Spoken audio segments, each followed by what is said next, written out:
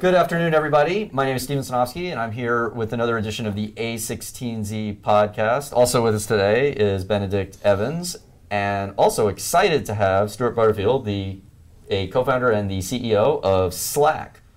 And so today we're going to do a product-focused discussion, uh, talking about what's going on with Slack, where it came from, and really try to focus on on the product and and what it is. And so first of all, we'll just kind of dive right into it, and it's sort of a, a dozen questions for for Stewart. Um, so first, good afternoon, Stewart. Good afternoon. Thanks for having me. Sure. So uh, let's uh, let's first go back uh, before you had Slack up and running, uh, both the company and the, the product, and when you were just part of another organization or a larger organization. How did you personally go about sharing information there? And and I'm guessing it was a lot like a typical company thing, like email, and it was slow and painful, or because I think that's going to be important in the genesis of how Slack came to be as a product. I think there's an ongoing joke about software developers and software designers that among the very first apps that they wanted to crack are either a replacement for email or a to-do list or a little bit of both. And I think that's been ongoing um, in my own career. I've seen, you know, many times I've stopped whatever I was working on to work on some better way to manage the things that I was working on, all of which have been more or less completely ineffective. Um, and you know, a lot of the software that's been designed for the collaboration, broadly speaking, which I'm sure we'll get into in a bit, um, has proven to be ineffective. So it's it's kind of it seems like something that software software should be able to help us with, uh, and software typically isn't. But I have used ad hoc email, obviously, quite a bit. By ad hoc, I mean manually entering the to and the CC or the BCC fields, uh, mailing lists, um, wikis, uh, purpose-built project management tools, um, task tracking, bug tracking, all kinds of stuff like that. Um, the the thing that happened uh, for me and for this company that caused us to come up with Slack was really when we founded the company, which not everyone knows was six years ago to build a web-based massively multiplayer game. We started which is the natural evolution for collaborative software, as you first build a game. Yes, yeah. Like massively multiplayer games are really hard to make, and so they're good warm-up practice for making other kinds of software. Be because you didn't know quite what to do, so you thought you'd focus a little on building some of the infrastructure to then build the game. yeah. so there were there were four co-founders, all of whom were on the original Flickr team, and we had two people in Vancouver, BC, one in New York, and one here in San Francisco. And no one was going to move, and so the natural thing for us was to use uh, a very old messaging system called IRC to communicate. It was the, the natural thing because in IRC the basic form of communication is to send a message to a channel rather than an individual or a group of individuals. And the channel is something that can exist before the people are there and exist continue to exist after the people are there. Now, IRC is uh, 25 years old, actually predates the web by a little bit. And, a little bit yeah, kind of wonky. Yeah, I mean, it's, it's a little bit wonky. It's a li- definitely uh, most IRC clients and servers haven't evolved much since the maybe the early 90s.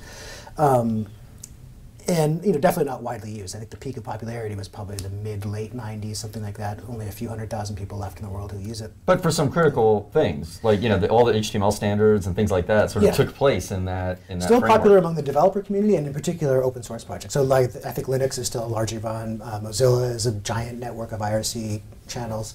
Uh, but for us, one of the critical deficiencies was that if I send a message to you when you're not online, you'll never see it. So there's no store and forward of messages, there's no archiving.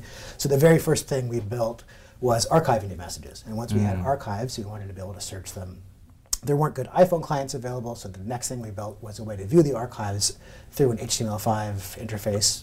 And once we had that, we wanted to be able to post messages from this iPhone app and on and on and on. So over the course of about three and a half years. Let's just interrupt there because Benedict's here, and that, I think that's a fascinating insight. I mean, like even though it was six years ago, you sort of were like right away mobile. What I mean, as a bunch of developers, that seems fairly unique.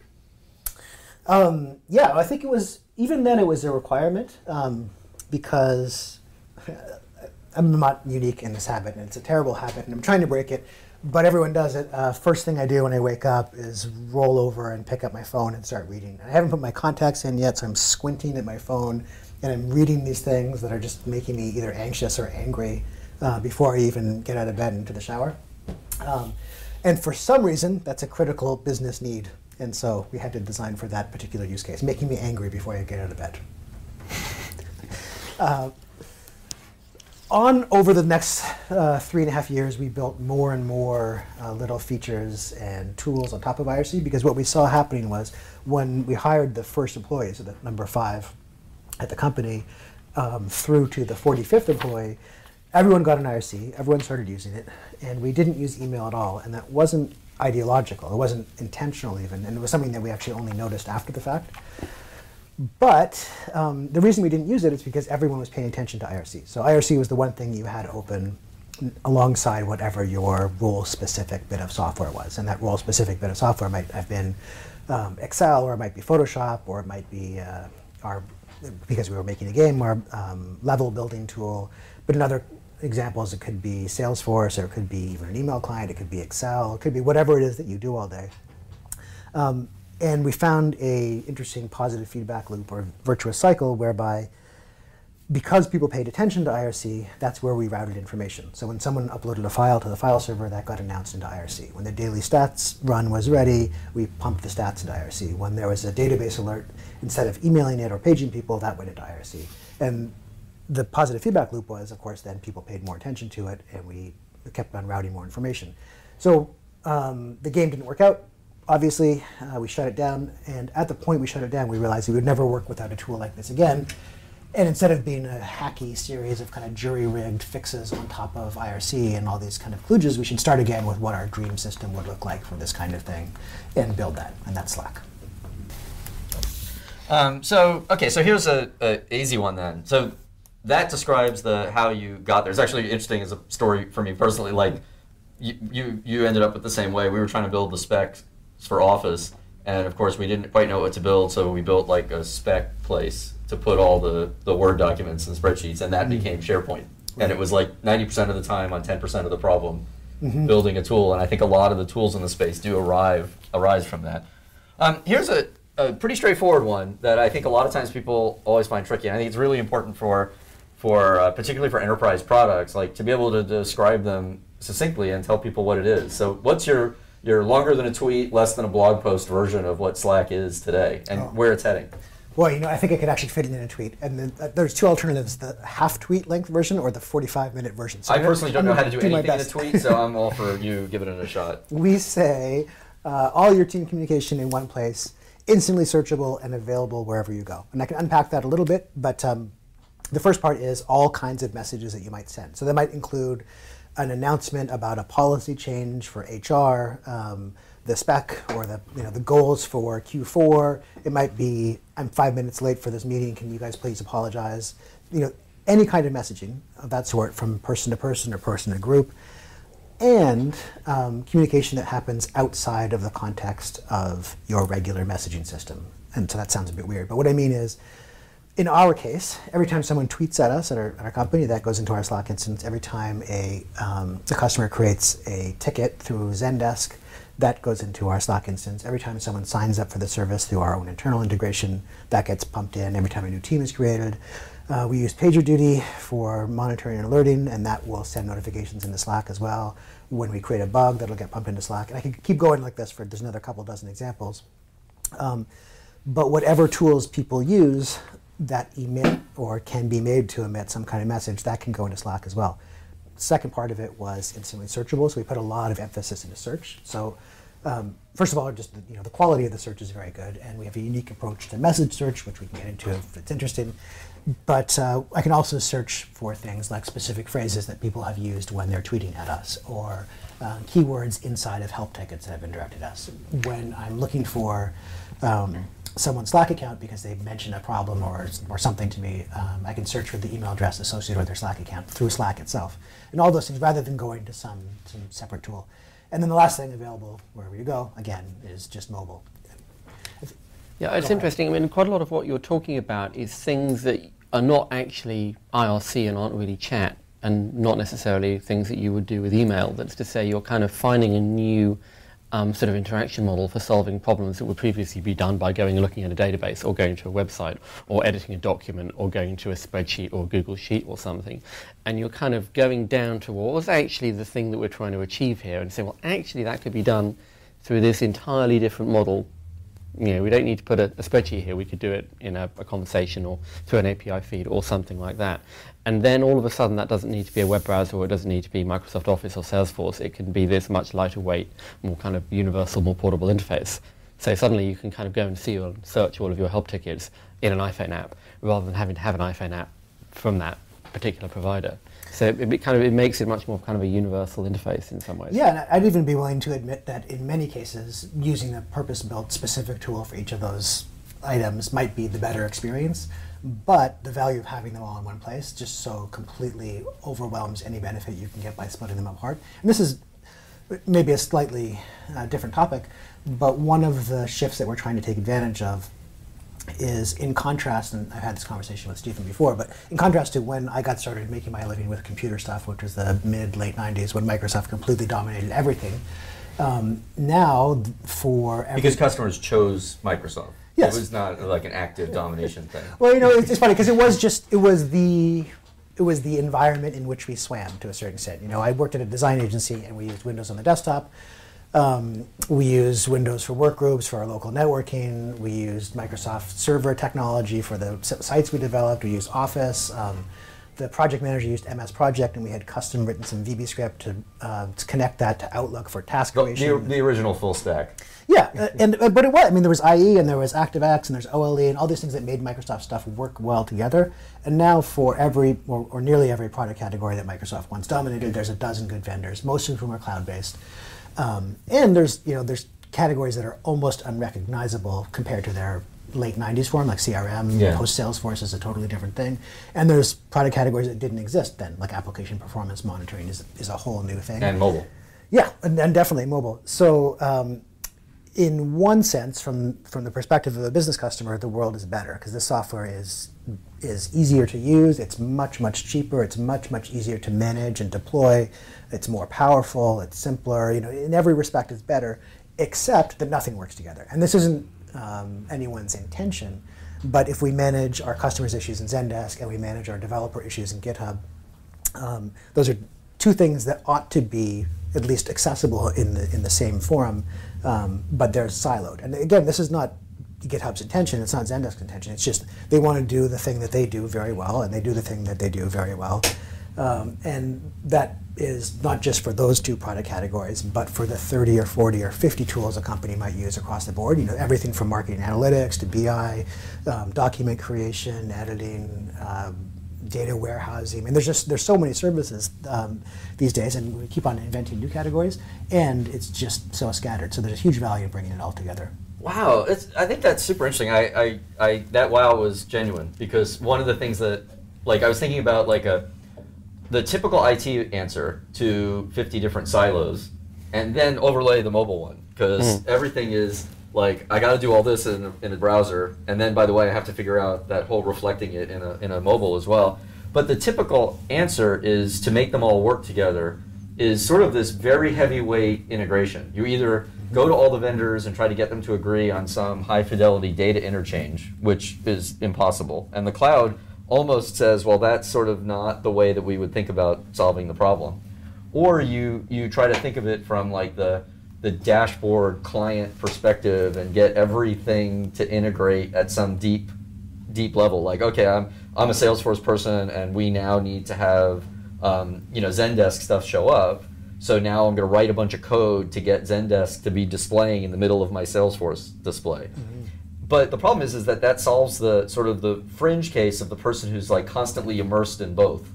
But there, a lot of what you were saying is also this. Well, there's a lot of uses to connect all these things, but you don't have to be so heavy about the whole thing because so much of the usage is not this massively weighty challenge. Is that something that? Yeah, no. I think in one case it, you end up with the very lowest common denominator kind of integration, which is smushing down whatever kind of data into a message.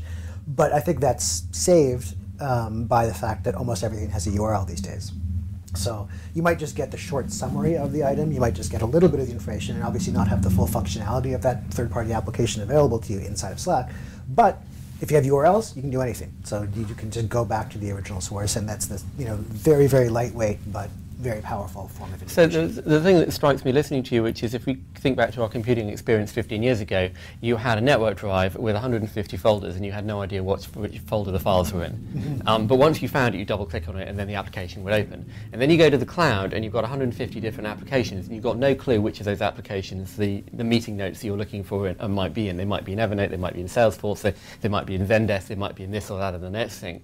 Um, and theoretically, you could have gone and searched a network drive, no matter how well that would have worked. But and that would have again, that would have kind of given you that lowest common denominator. You would have found a project file that said this is the thing for this client, and then you'd open it. And you're almost kind of giving that kind of experience again. That actually you can find all the stuff, and then you open it in the thing that created it.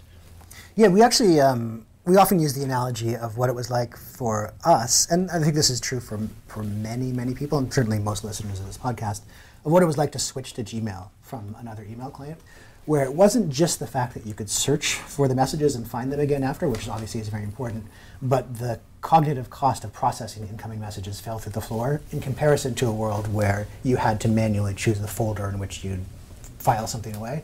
So suddenly it didn't really matter. You could just throw it all in one big pile. You could archive messages willy nilly because you knew that if you ever needed to find them again, the search was good enough that you'd be able to. And this is in contrast um, to my experience, and I think most people's experience. And I, I'm trying to, I'm hedging so much because you're in the room, Steven. But of, No, of feel using- free. I, I, you know, go ahead. You know what? You want to make a clippy joke? Just make the clippy joke, and we'll move on. of using Outlook 11 years ago, which uh, you know obviously had a search feature, but it was more or less a nominal search feature. It didn't work. Yeah, it I would take swear. I promise it didn't Yeah. work. It would take four or five minutes for the results to come back, Yeah, and they yeah. weren't good, and so you might as well have not had the search. So the experience was exactly like you were saying, Benedict, of, of having to like try to remember what folder something is in.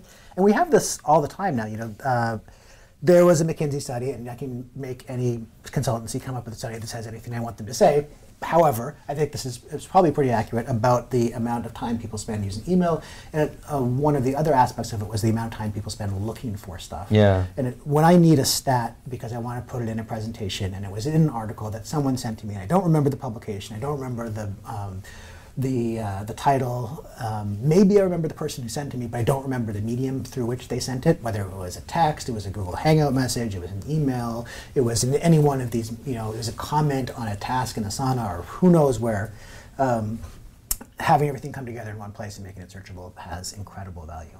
Well, it's fascinating because you know th- this whole one of the biggest transformations that that that that the cloud enables is sort of this infinite, you know, secure, reliable storage kind of thing, and of course not technically infinite, but but the, what happened is is this transformation from you know everybody on their device being and mobile is a huge part of this because you, your mobile devices don't have the storage that you can save everything, and so now everybody's trying to figure out like which part goes where when really you just leave it all in the cloud and then you never have any of it. And that's like way more secure. The sony breach doesn't happen and all this stuff. But people you are used to spending all of this time like being filers like mm-hmm. instead of a piler. Like that was the acronym we always the little saying we did with outlook was are you a piler or a filer?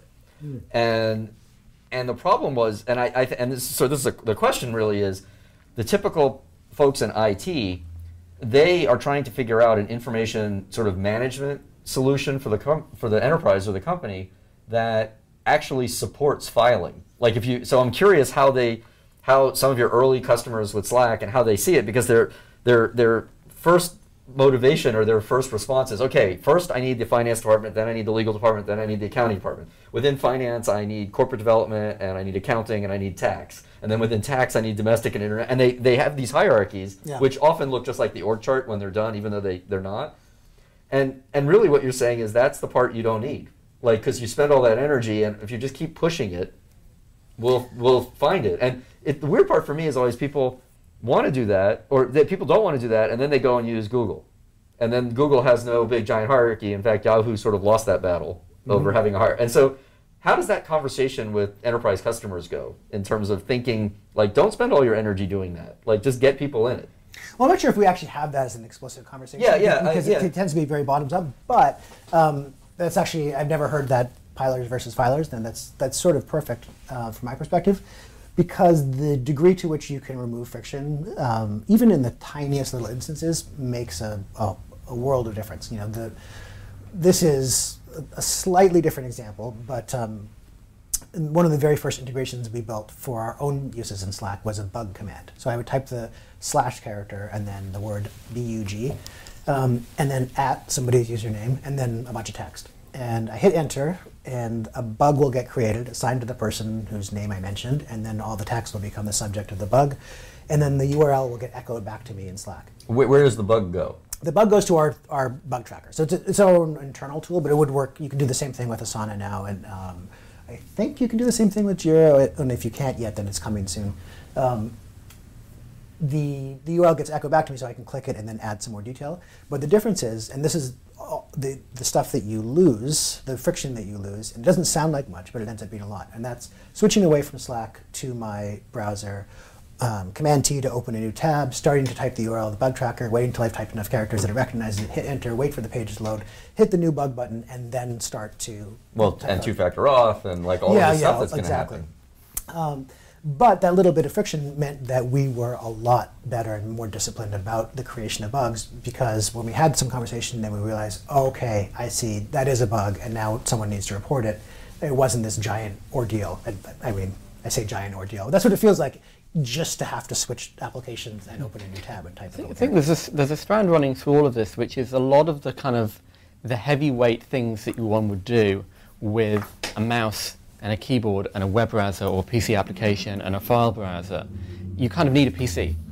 So you want to do that full bug, bug tracking thing. You're not going to do that on a smartphone standing in the street because you've just seen an issue. Um, and so you'll then you'll say, well, you know, I need a PC to do this job. You know, I need a big PC and I need a big keyboard and a big screen. But actually, that's just because what the, the tool that the, the, the tool that you're using required you to have a big screen and a keyboard and a mouse. But actually, the underlying task is I just kind of need to send this little packet of information or make this decision or give this piece of information and pass it to somebody. Um, and so when you boil it away from well, what was the tool that we were using to what is the underlying objective, then all of a sudden the device you need can change quite a lot. Yeah, and again, it does end up lowest common denominator. So if you use something, just to extend this as the example, if you use something really complicated like Bugzilla or Jira or, or some more sophisticated bug tracker, which might have 14 fields that you're supposed to fill out for severity and priority and reproduction steps and version it applies to and a screenshot and all that kind of stuff, you won't get to do all of that. Um, but that's not something that you're going to do while waiting in line at the bank anyway. You're just going to type out the very, the very bare bones basic. But it seems to me, I mean, that that metaphor though is sort of consistent with like keeping the organization going because mm-hmm. the alternative is, you know, like I experienced the bug and now it's on my own personal to-do list and I'm probably going to drop that. Whereas at least if I put it on with just the title and the minimal information, now the organization knows it. Yeah. And someone can hound me and keep sending me the URL saying, "Will you finish filling this in?" Because you know you were online at the grocery store with the bug. Yeah. So that it seems to me that that again the, this benefit of having this is it, it's not just that it's mobile. It's just that it, it's connected to all of these line of business systems that keep the organization rolling. Yeah. And doesn't slow down. The mobile versus desktop distinction is, is kind of interesting for us too because um, we explicitly said at the beginning, and this has still been our experience, that Slack is not really designed for a mobile only workforce and not designed for jobs where people aren't going to have a computing device in their hands most of the time. So we automatically disqualified, say, uh, retail, food service, healthcare, 70% of the US workforce. Um, but that the other 30% are people who will at least at some point during the day use a desktop. So I think that Slack is probably not use or if one person on the team is mobile only, that's fine. If six, 60% of the team is mobile only, that's fine. If 100% of the team is mobile only, it might not be a great product for them because there's that little bit um, of utility that, that it's difficult to deliver on a phone. Um, we have, I think, I don't have the latest stats on this, but let's, this is to be close enough. Um, 99% of our daily active users will log into Slack at least once on that day that they're active on the desktop, but only about uh, 65% will do the same thing on uh, a mobile. Yeah, but we should look at our Andreessen Horowitz numbers because I think we're all like we might be an interesting use case because because we're very mobile, Right. and I think a lot. But one of the w- let me just ask this in terms of the usage. Then, what the average customer who gets the person the bottom up deployment who signs up? What's the first thing people do with Slack where it feels rewarding and it brings in more people? Uh, it's a great question, and the, it's hard to answer because it's so variable. You know, we look through um, and this is obviously of critical importance to us to figure out what the, the patterns are in successful implementations versus unsuccessful ones.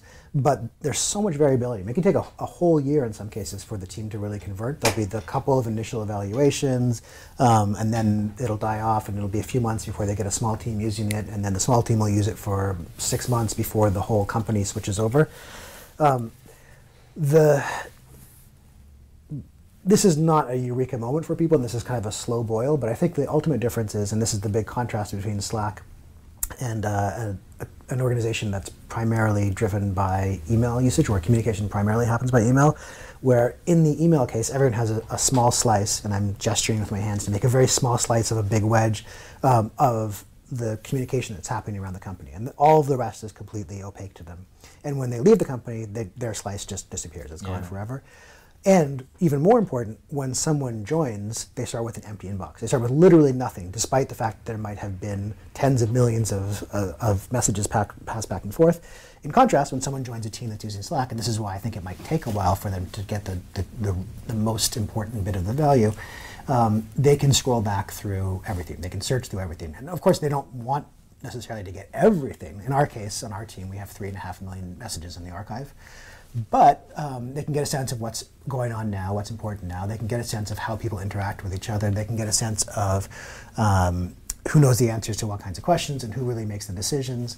And of course, they also, through search, have access to every link that's been posted, every document that's been shared, every decision, every discussion. And you can go back and figure out why, why do we do this crazy thing this way? Um, and you can see the origin of that conversation. You can see what happened the last time this issue arose and how we dealt with it and all that kind of stuff. So it's a lot like um, you know the sort of a Twitter phenomenon that you see, which is someone new follows you or you follow someone new, and then you go to their history, mm. and then all of a sudden that's when you start seeing the you know December fourteenth, you know two thousand seven favorite. And, that's and actually like, a great example. I mean, I hadn't I hadn't thought of that before, but that is um, you know having this a pre-existing stream of information that exists that you you can dip your toe into whenever you like. You can have a glimpse into, and that's actually maybe the second part of the value of Slack, which is transparency across the organization. Mm. And w- transparency seems like a loaded word because it has all these political connotations, and I don't mean Edward Snowden um, or any kind of political kind of transparency. I just mean literally the opposite of opacity so that, for example, the technical operations team can see what's going on with uh, customer support. So th- they're having a lot of people reporting this issue over and over again, and someone on the tech ops team says, "Oh crap, we just changed the load balancer. I bet that's why." Rather than that being an issue that's escalated to the customer support manager, and then the next day's stand-up meeting, the customer support manager relays it to the manager of tech ops and goes down. You know, or any of those things. The, the engineers can see what the designers are coming up with next. Um, the marketing team can see where the sales team is having issues and they need better support documentation, all that kind of stuff. Cool. So, um, you know, what? Okay, so then as the usage goes on, so there are lots of different ways to start. What's the thing that you think people stop using? Like, what kind of products have, have Slack displaced? I don't mean that to in an aggressive sales kind of way, but just you know, wow, maybe they stop use. Do they stop using the front end to some things, or do they? And, I, I, think it's a, it's a good question, and I don't think it's salesy at all because one of the things that we realized early on is if we don't either replace or consolidate some other form of communication or interaction between people, then this is going to be another thing that they have to do. And if it's another thing they have to do, then it will inevitably fail. And I don't want to um, sound like I'm picking on them, but that was my experience of Yammer and, and many other people's experience of Yammer and products like that, like in that same category, Chatter and um, uh, Convo, Socialcast, where it wasn't quite sufficient. This is, by the way, what I'm thinking is probably going to happen with Facebook at work too. It wasn't quite sufficient to, re- to replace email usage internally, or wasn't quite sufficient to replace use of messaging internally, or whatever it is. Right. And so it becomes this other place. And what we found is that success with Slack is very binary. If we get to 80% of the, um, of the team using Slack, it might sound like I'm about to say something good, but no, 0% will be using it soon. It has to be 100%. It has to be, you have to be able to trust that if you send the message in, in this way, then people will see it. In the same way that if you send someone an email, you know that they will see it they might hate you, they might have too much to do, might get lost, they may never respond to it because they have too much other stuff going on, but you know that they will see it. Whereas if you can't trust that a message sent to this meeting will reach the group or the individual that you're trying to get to, then eventually you'll stop using it. So in most cases, the thing that it will replace is email usage. And I want to just stress because we get this in, in headlines quite a bit that we want to be an email killer. Email is not going away. We've got, you know, at least three or four decades left of, of heavy email uses because it is lowest common denominator, and I mean that in a good way. Yeah. It'll cross organizational boundaries very easily. It's how we coordinated this meeting today. Um, but I think if you use email as your primary means of communication internally for the kinds of, of knowledge worker, for lack of a better term, teams that use Slack, that's you're foolish. I mean, and it's such a big disadvantage that you will eventually be made to switch by losing out to your competition. All right. Well, I, I mean, I think that that it, in a sense, it's the practical answer because showing up and saying you're going to replace email is a very challenging value proposition, mm-hmm. given that companies need it to run. But you know, certainly, if you ask a reporter, I'm going to use Twitter as an example. Like Twitter has changed the workflow of being a reporter, mm-hmm. and and it changed their nature of work. It changed where tips come from and leads, and who reads their story and how they talk about their stories. But it seems like the same thing could happen it, it, to once you get to 100% Slack. That like the daily workflow of somebody is different, and then you know mobile seems to fit into that as well. So do you, do you think that in the places that have really deeply engaged with Slack outside of this building that, that their workflow is really different and that their nature of work has changed? Yeah, and I think that, you know um, it. Slack is not some uh, panacea. It's not. A, it's not magic. It's not going to uh, transform people by itself. It's a tool, Yeah. and it's a good tool. But people will, especially in the transition period, struggle to figure out how they're supposed to use it most effectively. Um, it can feel like it's noisier. Um, potentially, it can feel like. Um, because you have established patterns of behavior, both in terms of your own daily routine, like you know the points at which you stop to check email, um, and in how people are expected to behave. Like so, for example, the meeting notes are circulated after the meeting by email or something like that. Um, it can be a very big change, and that's that's a you know we think of that as a a request that we're we're making of our customers. You know that we we're asking them to change a very fundamental and in some cases very ingrained set of behaviors that all interact, and we're asking them to change it at the group level, which is even more challenging than the individual level. So it's a very very big ask. Um, and this is maybe a little bit of a side, but that's why we focus so much on new user experience, on communicating the value up front, and, and all those kinds of things. But uh, it, it can often take a while before people find their legs. And even in our own case, you know, we're the people who make Slack. When we first started, it was eight people working on the team, and so Slack was absolutely perfectly designed for an eight-person team. And if you were like a 12-person team, it's a piece of crap.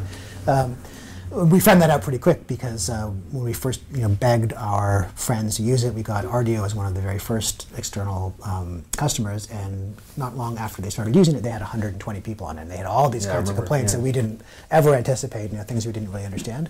But even in our own usage, as we've gone from eight people to now 100 people ourselves, we had a very, very um, uh, I'm not sure what the word is, like like consensus-driven or collaborative approach to decision making, where everyone gets their two cents in, which is fine at eight people and fine at 15 people and even fine at 25 people, and then is kind of not so great at 50 people and is a disaster with 100 people because just it's the amount of time you're taking up um, to have everyone give their input and and the sheer number of messages doesn't work. So we've had to adjust our own behavior in light of that. Um, it's you know it really depends on the nature of the organization, but the kinds of changes that that we typically see or have reported back to us are, of course, a drop in internal email usage, and in some cases, completely, you know, uh, not using email at all internally, which was a side effect that we hoped for because again, having all the messages in one place from the big memo down to the I'm going to be five minutes late has value in itself. Uh, the other one is um, canceling a lot of, of a very specific type of meeting, which is the, the daily stand up or the status report kind of meetings, um, because there's a steady flow of information Yeah. being emanated from each team. So if you want to know what's going on with, with um, technical operations, you just open their channel and have a look. If you want to see what's going on with front end engineering, you have a look. If you want to see what's going on with the sales team or um, what accounts are being closed or any of those bits of information, you can just look for yourself. I mean, there's a classic kind of use case I always talk about, which I think of my friends in big companies who, once a week or once a fortnight, they have to go in into an internal system and pull out a bunch of operating data, and then drop that into Excel and make charts, and then put the charts into PowerPoint, and then write bullet points in the PowerPoint, and then email that, that to a team. Yeah. And you can't do that on a smartphone, you can't do that on a tablet, but actually, that should be a SaaS dashboard. Um, and it should be a conversation in something like Slack, or it could just be okay if the charts change, you paste it into the Slack channel and you write why, and then you're done. And Yeah. then now that's not two hours once a fortnight, and it's not a, power, copy of PowerPoint. So let's. I, I think it, it's been super interesting. I, I, think we could keep going on this for a long time because we and maybe we'll end up doing a part two at some point um, to talk more about the the depth of this. But I, you know, kind of just want to ask in a sense, like because this space has always had a bunch of products and they've always had a little tr- trouble getting traction, and yet Slack is just taking off. The growth, you know, Mark has tweeted the growth curves, and we, we see it. I mean, every new company I see is using it, and I've been up to Seattle and I've seen companies using it, and I've seen people using it in DC. Um, you must, as, a, as an organization and you personally, sort of have a, a belief or an insight about how people use tools that other people sort of either question or don't share. What do you what do you think is that sort of secret magic beans that that Slack holds that other people might not? Um, it's a good question. And at the very beginning, I talked about my own history and, and like most people who've made software, trying to build um, task management software at some point. One of the you know, so when we were first starting on this and we thought about the, the core feature set and what we wanted to get in and what we didn't want to be, do, um, we decided we wanted to avoid anything that has too much structure or too much ideology behind it. And so um, task management would be one of those things, although there's a, a, whole world and you know moving towards the, the piling metaphor that you used before versus the, the filing metaphor.